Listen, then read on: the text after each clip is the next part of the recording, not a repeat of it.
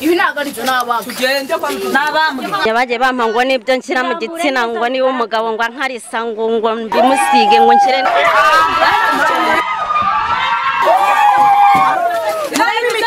yanditse mubirebe mutagira ngo turi kuvuga ibintu bitari impamo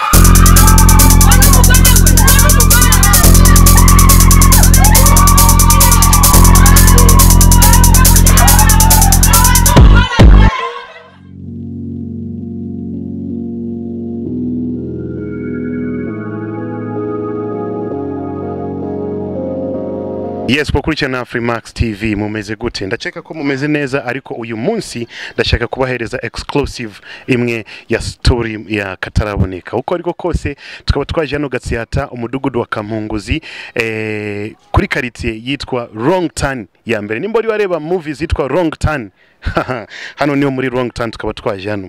Story zigiye kubera hano ntabwo nshaka kubwira byinshi ariko uko ariko kose reka tugere hariya hari story ziteye ubwoba. Nimba urimo gukurikirana Freemax TV kanda subscribe. Zirakugeraho vuba vuba. My name is Bakti of course. Yes eh, muri Wrong Turn tukaba twageze.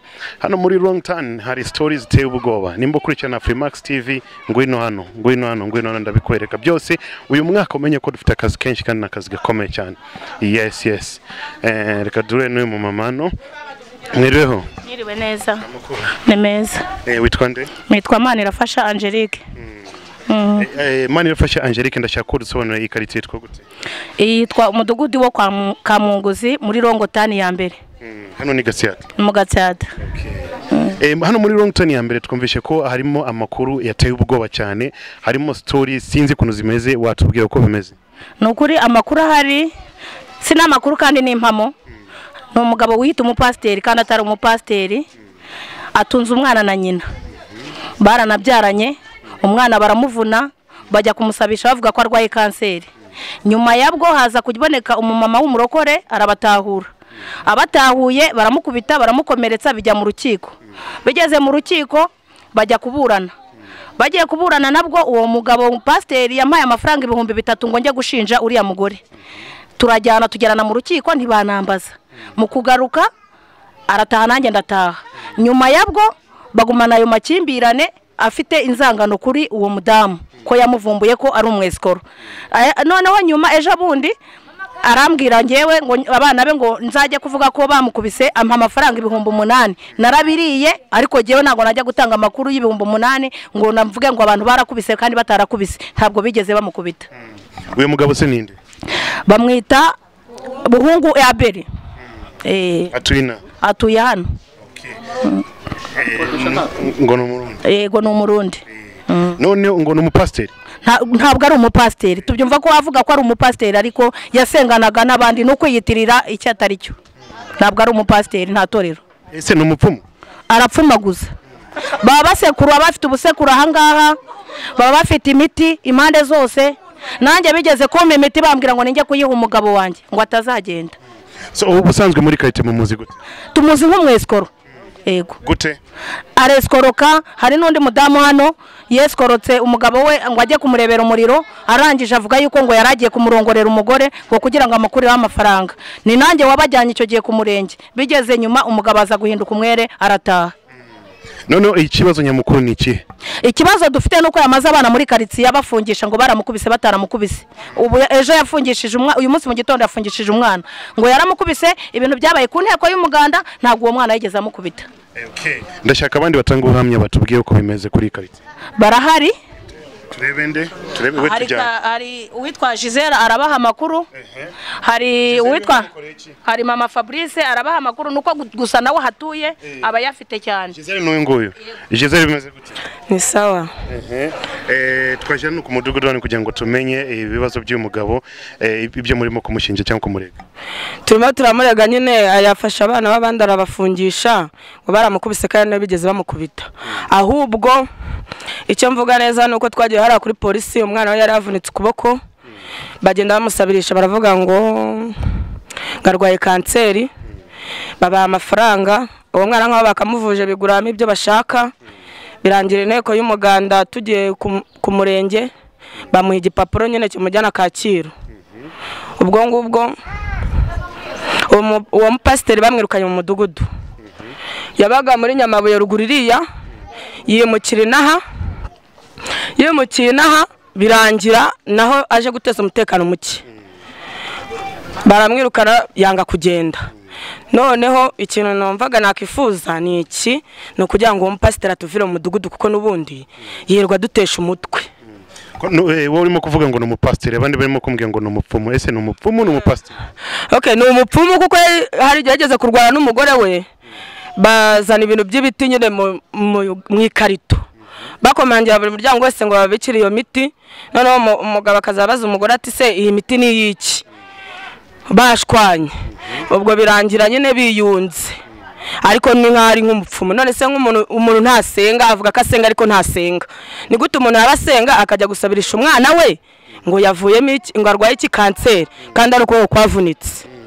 Noneho eh, urimo kumwita ngo ni umupasiteri. Ni umupasiteri eh, muri uruhe rusengero? Nta rusengero rwo nzi. Mm. ariko yitwa umupasiteri. Yitwa umupasiteri kwitwa umupasiteri ntabwo bivuze ko aba asenga ahubwo uwo mupasiteri yitwa umupasiteri kugira ngo abone amafaranga y'abaturage abarya. Eh. Aya- aya barya gute? Aya barya babeshya ati nimuze mbasengere mu rugo ejo bundi nabonye bakoresheje ibirori ngo baje gusenga kandi ntasenga. Afite abayoboke? Afite abayoboke. Eh, muri karitsiye umuyoboke ninde? Nta muyoboke urimo kuko nta n'umwe umwizera. Eh, uretse aba yagiye gutoragura hanze hirya no hino nibo bayoboke be. Ni benshi se abayoboke be? Ntabwo mbizi. Ni bakeya kuko nose urumva abantu batatu cyangwa bane bamenye ibyiwe ubwo urumva yuko bose bakomeza kumyoboka Eh, murimo kutubwira ngo ni umupfumu abandi bakatubwira ngo ni umupasiteri. Ndashaka kubimenya neza eh, impamvu mumwita umupfumu. Impamvu rero tumwita umupfumu njyewe ubwanjye nageze no mu nzu yabo. Ngezeyo bampa udukoni tubiri. Ngo ninde uhonde ku mabuye. Ngo noneho bampa n'imiti. Yewe hari n'iyo nge banyuhagiye ubwanjye. Uri uwo mupasiteri. K'uwo mupasiteri. Iwe. Baranjyana n'iwanjye banshyira muri dushe nabwo baranyuhagira. Barangije. Barambwira ngo ni ngo ngo ngo ni mfate imiti. Ngo noneho ngo nyinyanyagize mu marembo. Uriya mama mumamagarire uriya Eh, eh, nawe ah, ngo nyinyanyagize mu marembo ngo ntabwo umugabo wanjye azagenda. Ntabwo ari abapasiteri ahubwo ni abarozi. Ni abapfumu barapfumagura gusa. Okay ikindi kivuga ngo ni umupasiteri wa hehe afite urusengero nta rusengero agira nta n'urwo turabona. Uretse abantu besikoroka bakabazana ngo baje kubavura nta rusengero afite. Imiti we yaguhaye ni imiti y'iki ni ibiti y'ibyatsi. By'ibifu by'ibyatsi ngo eh, bikuvura iki? Ngo mbimene ku muryango ngo umugabo atazagenda. Umugabo wawe? Yego. Eh, warabikoze ariko? Narabikoze. Eh, narabikoze. None umugabo yaragumye mu rugo ntabwo yagiye? Umugabo wanjye n'ubundi ntawe yari kujya kuko n'ubundi turasazanye tumaranye imyaka mirongo itatu. Impamvu se yagiye kuguhereza iyo miti mwari mufitanye ikibazo n'umugabo nta kibazo twari dufitanye ahubwo hari undi muturanyi twari dufitanye ikibazo arambwira ngo barimo barandoga ngo kugira ngo ngo umugabo azasohoke agende. Uriya mumama nawe ndabona afite ibipapuro sinzi ikintu yari agiye kutwereka. Bimeze gute ngewe nitwa kayitesi josiane. Nasenganye n'uwo mupasiteri ansanze ahantu mu cyumba cy'amasengesho. Biba ngombwa ko tuza kuba inshuti n'umudamu we. Nanjye nza kubabwira ntimwansanze ahantu mu cyumba cy'amasengesho mureke nanjye mbajyane mu cyumba aho nsengera. Tujya ahantu mu nyakabanda ku mukozi imana witwa kazura tugezeyo abahanuzi bati hano hari umuntu wambaye impigi. Umugore arya urwara arambwira ati nzakati turapfuye. Ati umugabo wanjye baramufashe. Ntese bamufashe iki? Ati yambarira ku masaro ati ni we bavumbuye. Ndacyo ko nta kintu agomba kubi- kubikoraho ahangaha yabikubwiye muri mu rusengero. Eh, ya- yandiye urwaranye ngo arambwira ati turapfuye. Ntese mwishwe n'iki? Ati umugabo wanjye arafashwe ati umwuka w'imana aramuvumbuye ntese amuvumbuye iki? Ati umugabo wanjye yambaye yambaye impigi ati hari amasaro yambariye hatajya akuramo ntese ntiburya bwose nuko ngo arimuteye ubwo turataha tumaze gutaha nza kwegera umudamu ndamubaza ntese ni gute? Mukeza abami babiri. Nimwemere mukorere shitani mwe kubeshya ko mukorera imana. Umugabo amaze kumenya ko umugore yabimbwiye aramfata arankubita. Amaze kunkubita polisi iramufunga. Imaze kumufunga baza kumufunga kugenda abyihorera. Bamaze kumufungura aravuga ngo abana banjye ngo azabajyana muri gereza. Ni ukuvuga ngo iyo kese y'abana banjye ejo bundi ku munsi w'umuganda mu kwa gatandatu habaye umuganda. Afite umugo- umwana na nyina yashatse. Ni ukuvuga ngo amaze gushaka umwana na nyina umwana arabyara. Amaze kubyara bafata umwana bamukura akaboko. Bamujyana nyabugogo. Kuri za volokano no mu mujyi bajya kumusabisha bavuga ko umwana arwaye kanseri bazajya kumushiririza mu bubirigi abantu bamuhaye amafaranga menshi. Bamaze kumuha amafaranga menshi wa mwana amaze kubona ko iwabo batamuvuje ateza intambara. Ateje intambara bararwana. Babahamagara mu muganda. Bamaze kubahamagara mu muganda umudugudu atavuga ati nimugende munzanire pasiteri. Abana banjye ntabwo bigeze bamukubita ngo bagiye bagiye gutabara. Arangije abazanira komfukasiyo amaze kubazanira komfukasiyo za mbere umwana wanjye yari yagiye ku kazi. Umudugudu turamuzana umudugudu aravuga ati nta kuntu umuntu yareka ikiraka mwe mujye ku kazi hanyuma mama wanyu yitabe. Njya kuri ribu maze kugera kuri ribu baranga ati wowe genda usakuma amakuru y'uwo mugabo mu mudugudu numara gusakuma amakuru uzayatuzanire. Amakuru twasakumye mu mudugudu ngaya. Umukuru w'isibo yarayatuhaye ngaya umudugudu nawe yarayatanze umutekano. Umudugudu yanditse gute? Umudugudu yari yandi dusomere dusomere umudugudu ukuntu yanditse ninde uzi gusoma neza? Adusomere. Ninde muntu ubonara akira bera akira. Eh, reka bera dusomere ari nawe muyobozi w'isibo. Ah, hano ninde? Niyo. Ndabasomera iby'iki? Ibya bya mudugudu ibyo? Eh, tangira ku isibo. Murakoze. Njye nitwa umurerwa bera ntuye mu gatsata muri nyamugari umudugudu ni akamwunguzi ngewe umurerwa bera umutwara sibo w'amahumbezi. Nyobora. Ndemeza ko uyu buhungu abeli afite imyitwarire mibi cyane. Impamvu? Gutekateka imitwe yiyitirira ubupasiteri akaba ateza umutekano muke mu isibo nyobora. Akaba yarahawe. Piriyave y'iminsi cumi n'itanu yarangiye ejo hashize. Ariko ngo ntaho azajya akeneye abayobozi bo hejuru. Ku bw'ibyo dufite umutekano muke cyane. Twasabaga ko mwadufasha ku bw'ibyo ku cy'icyo kibazo dufite. Nk'abaturage bakamwunguzi. Murakoze umutwara sibo ninde wanditse hano? umbezi umurerwa bera ni wowe ni wowe ushinzwe iki ku mudugudu? Ndi umutwara sibo. Sawa urakoze cyane. None komeza hano ninde? Ni mudugudu wacu. Nyamugari akamwunguzi. Ku wa makumyabiri z'ukwa karindwi bibiri na cumi n'icyenda.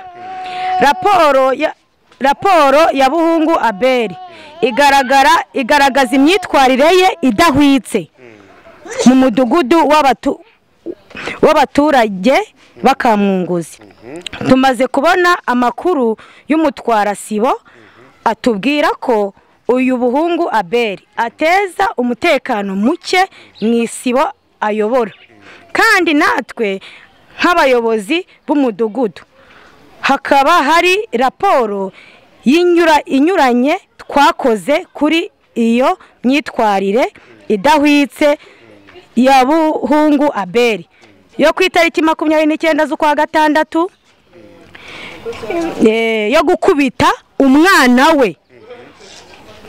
Wo gukubita umwana we no kumubuza uburenganzira kandi ari umwuzukuru we.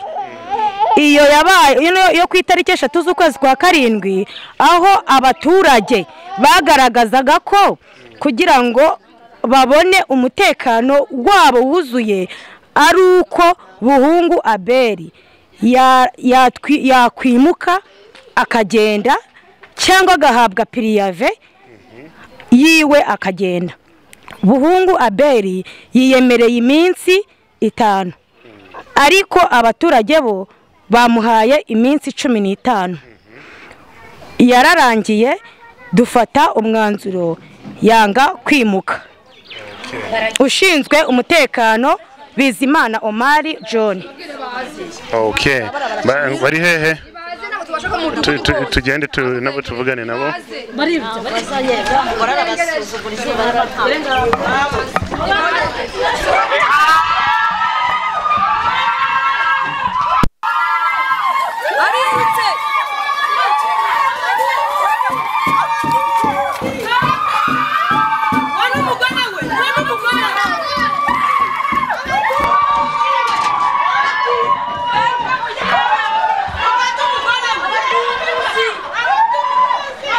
mwiriwe mwiriwe iyi ni Afrimax TV ndashaka kubaza gatoya. Tumvishe hari ibirego byinshi abaturage. Ntabyo nzi ntabyo ngo uyu mama nta kintu azi ntabyo nzi Ha- hari ikibazo afite? Nta kibazo mfite ni ikihe kibazo tujya ko tumubaza? Nta kibazo mfite ariko. Reka twumve ibyo abaturage nta kibazo mfite Eh? nta kibazo batubwire nta kibazo mfite ariko we. Nta kibazo ufite Ntacyo. bimeze gute se? Nta na kimwe nzi rwose. Ko barimo kubarega abaturage? Oya ntabyo nta kibazo mfite. Nta kibazo? Ntacyo pe. Okay. ni iki mumurega umugore? Turamurega yuko afungisha abantu kandi bo ni abatubuzi kandi ntabwo ari abapasiteri. Ese umugore ni ufite ikibazo cyangwa ni umugabo Baba bafata umugore n'umugabo ni bamwe bombi ni bombi reka reka dushake umu- umu- umugabo none. Eh? reka dushake umugabo. Eh, okay. Noneho wowe ugiye tubangamiye mu mudugudu. Wowe wari ugiye kutubwira iki? Ngiye kubabwira yuko umwana we yaravunitse. Ibintu ahantu ahantu hose byaturutse byaturutse ku mwana we yavunitse. Umwana we yaravunitse yamaze kuvunika baravuga ngo ngo umwana arwaye kanseri. Bajya kumusabisha.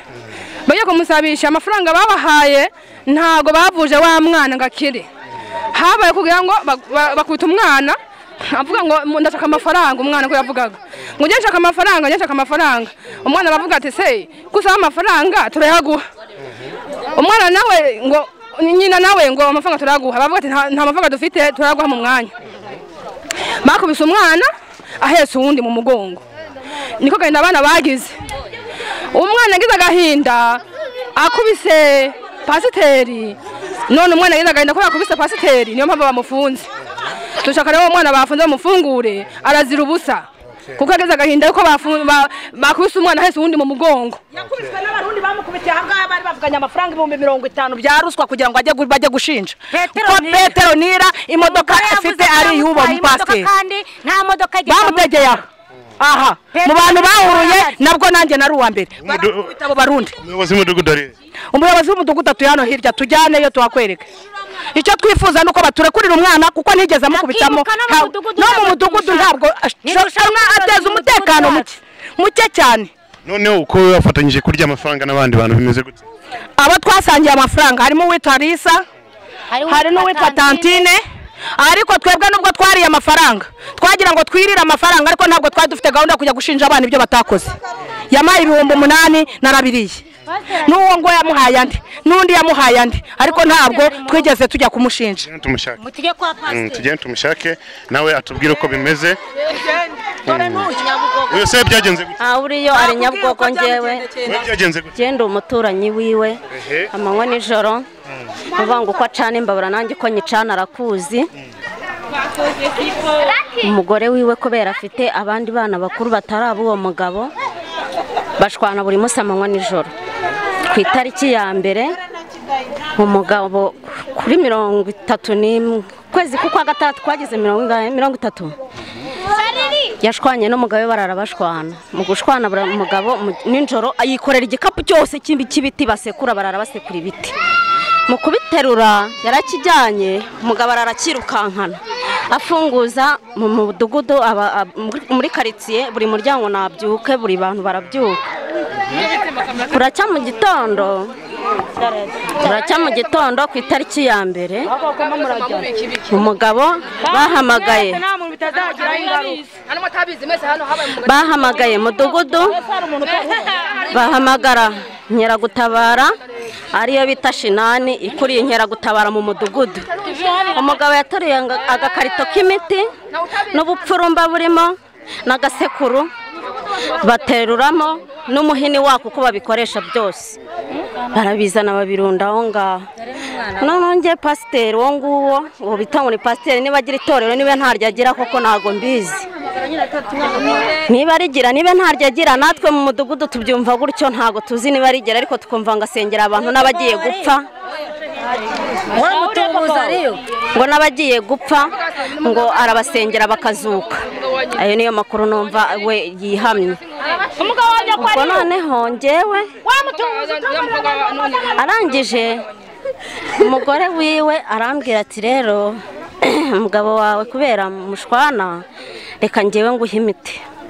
Imiti izatuma umugabo we mutongera gushwana. Ndababwira nti se umuntu w'imana ko uyu muntu tujya kubana nta miti twakoresheje? Ko twabanye dukundanye niba dushwanye kubera ibyo? Ibi byose. Iyo ni imiti baguhaye bamaye byinshi bimwe nagiye mbijugunya bagiye bampa ngo ni byo nshyira mu gitsina ngo niba umugabo ngo ankarisa ngo ngo mbimusige ngo nshyire n'ingere n'ibyo None nshyire iyi ngiyi wagomba kwikoresha gute? Ibi ni byo nzajya nisiga ngo umugabo atashye. Umugabo. Eh, muracyari kumwe. Turacyari kumwe nawe yagiye nta n'ibyo nakoresheje. Urumva? Ubwo bukeye babonye ibyo ngibyo nta kintu bitanze. Umugabo arambwira ngo ariko ubundi ngo wowe kuri iyi fuku ngo ubundi ngo ubona uberanye n'umugabo wawe ngo umugabo wawe ko ari imfura wowe ukaba ifuku ndamubaza ndongera musubirishamo inshuro nyinshi. Ndamubaza ngewe umuntu aba ifuku akabana n'abantu? Ngo wowe uri ifuku ngo ntabwo uberanye n'umugabo. Ifuku ni iki? Ifuku ni bya bindi birya ibijumba byo mu cyaro cya- agakoko kabamo hasi. Arangije arambwira ngo ngewe ngo ndi ingumba ngo nzapfa ntabyaye ngo nzapfana urubuto mu maguru. Ngo yakubwiye ngo eh, uri ingumba ntabwo uzabyara ngo ntabwo nzabyara ngo nzapfana urubuto mu maguru urubuto nzapfana nirwo ntazi. None yaguhereza imiti? Iyo miti iyo miti ndiyo ndayifite imwe narayijugunye bimwe ngiye mbifite. Iyi ngiyi niyo usigaranye ndanayifite niyo mu maguru ndayifite.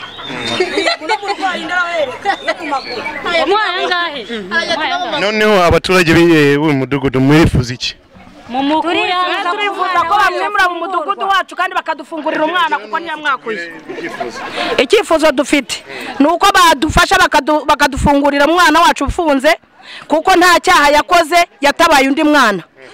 Ikindi cya kabiri bakamwimura mu mudugudu kuko azengereje abaturage bose b'umudugudu. Natwe b'abayobozi duhora mu manza zabo turananiwe tumaze kunanirwa. Ngewe icyifuzo mfite ni uko yabwiye umuyobozi wa ribu ko abana banjye ari abanywa tabi ari abanywa rumogi ngo barara barwana muri karitsiye nta kazi bafite. Iki ni icyangombwa cy'akazi cy'abana banjye aho bakorera. Twagihaye umuyobozi wa ribu turamubwira ngo ahamagare umuyobozi w'umudugudu. Ngewe icyo nsaba rero nk'ubuyobozi ni uko bwandenganurira umwana kandi uyu mupfumu aka- akatu- akatuvira mu mudugudu.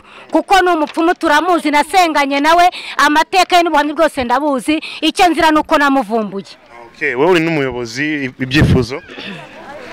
Murakoze njye nk'icyifuzo navugira bagenzi banjye tuyoborana ni uko twushaka yuko uyu nguyu buhungu aberi bamwimura kandi mu kumwimura kwiwe n'aho azajya gutura bakamuha kondisiyo agomba kugenderaho bitakunda nave mu mudugudu ajye mu wundi natwe barebe icyo twabarushije. Murakoze cyane. Eh, ndashaka umuyobozi w'umudugudu mushobora kutujyanayo? Wakujyanayo nta kibazo. reka tujyeyo uyu mwaka dufite akazi kenshi kandi n'akazi gakomeye. Eh, reka turebe naho nta kibazo.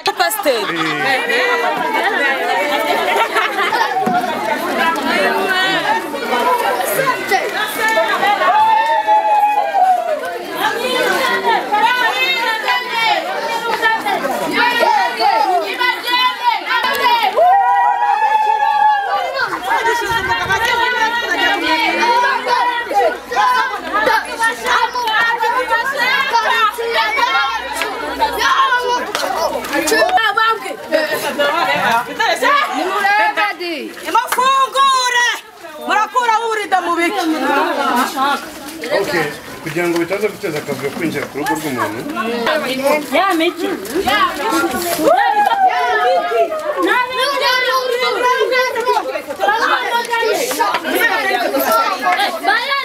niyo bayitwikiriye ngiyi ngiyi ngiyi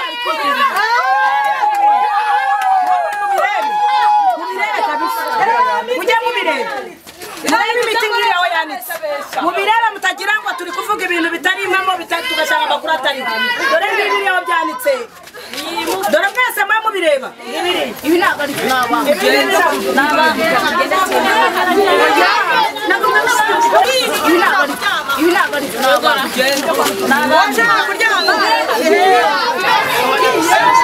umwana nta cyaha yakoze